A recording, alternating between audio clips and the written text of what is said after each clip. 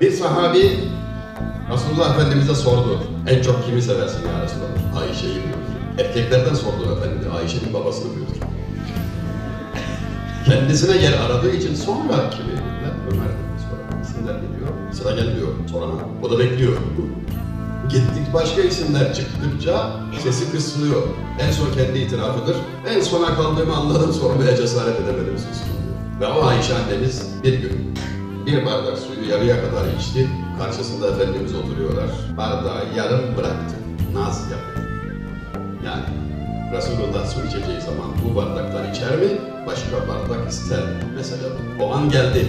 Hazreti Peygamber bardağı elini uzattı. Hazreti Ayşe dikkat kesilmiş olacak. Tuttu bardağı.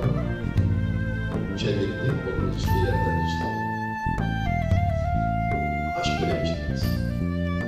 Kim kime neyi anlatıyor ya?